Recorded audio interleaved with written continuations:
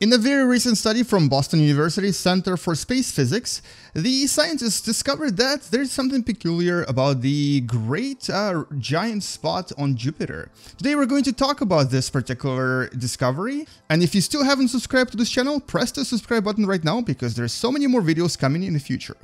Welcome to What Da Math.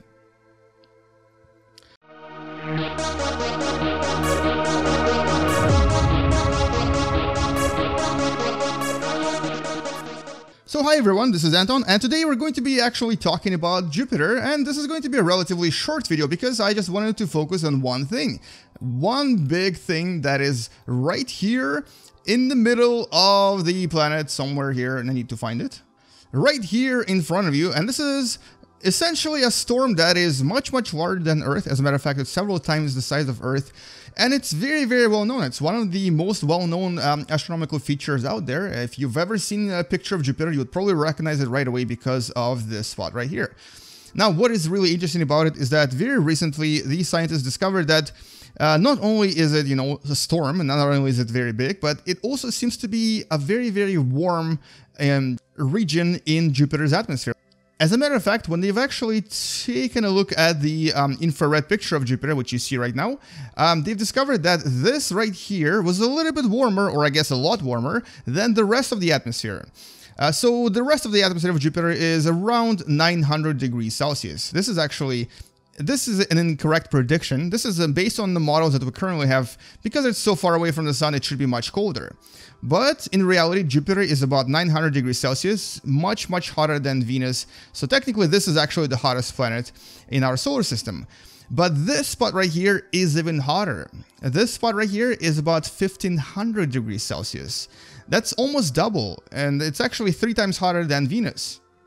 And so why? What exactly is happening here? Well, for one, we know, um, what, I guess what we know about this spot is that it has some of the highest wind speeds in the in our solar system. Uh, so there's a lot of um, air motion. There's a lot of um, highly accelerated air, which basically uh, flies around uh, this particular spot really, really fast. Now, we're not exactly sure why it's happening. We're not exactly sure why this spot exists, but we know that this is obviously a very turbulent sort of environment, uh, a lot more powerful than any kind of a hurricane on our planet Earth. Now, this spot was uh, wasn't always here. It, as a matter of fact, um, it uh, I believe it actually appeared about oh, just over 300 years ago, but it wasn't really always here. So uh, it seems like something created this. We're not exactly sure what. We don't really know enough about Jupiter to know what created this particular spot, but we know that it's here now, and we are trying to figure out what exactly is happening. Now, but the interesting finding is um, the analysis of this particular spot and, and the analysis of various types of hydrogen that come out of this spot, and uh, the realization that maybe, just maybe, all of this um, heat and all of this energy comes from a very, very simple phenomenon that we also observe on Earth. Now, let me just go back to Earth and I'm going to show you where it actually happens on our planet. And we're actually going to go to uh, South America and right here um, this is, I don't know if you can actually see it because there's clouds here that are kind of blocking most of this, but let's see if we can maybe reposition ourselves so that you can see it a little bit better. Anyway, so this is South America right here, and right along the west coast of South America, there's a region or a mountain range known as the Andes. Now, this region right here is known for a very interesting phenomenon known as the acoustic waves, or specifically acoustic wave heating.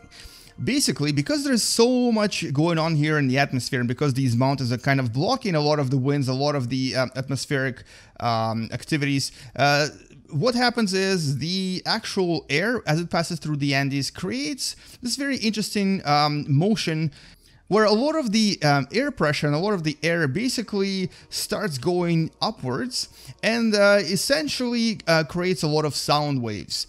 Uh, specifically thunder waves. Um, so essentially, in other words, it creates a lot of thunder. Now, this thunder, when it uh, when it's created, uh, releases a lot of energy. So because of these mountainous ranges uh, and because of the acoustic energy produced by the thunder, this whole region is actually warmed up. It's actually a little bit warmer than than the other regions nearby and uh, this uh, interesting phenomenon is actually responsible for some of the really interesting climates in this particular region. So it essentially is a known phenomenon to us, and the scientists studying Jupiter realize that maybe this is what's actually happening in the giant red spot on Jupiter. Except, of course, for the fact that uh, even though on Earth the actual increase in temperature is only about a few degrees, here the increase is about 600 degrees. There is so many thunders and so much acoustic energy produced by this huge storm that the temperature in the surrounding area is increased by about 600 degrees, which is ridiculously high.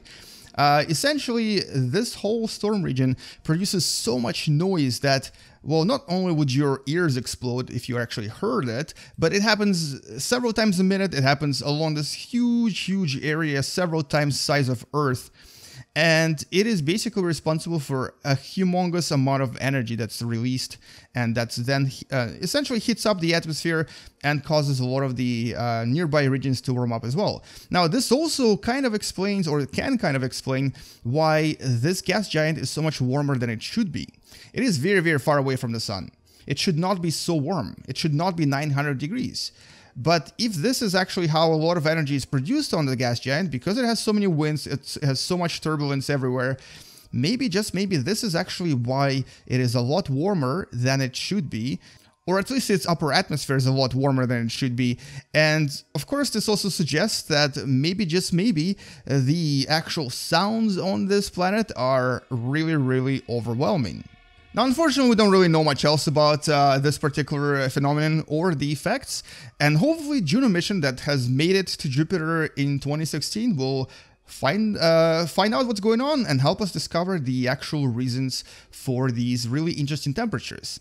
Anyway, so that's all I wanted to talk about in this video hopefully you learned something from it and hopefully now you know a little bit more about Jupiter and its amazing beautiful giant spot that's about to go into the shadow and into the nighttime on Jupiter. If you've enjoyed this video don't forget to subscribe and don't forget to share this with someone who you think may like space videos. I'll see you in the next video we're going to talk about something else, math, space, science or something else related and you'll definitely learn something else from those videos as well.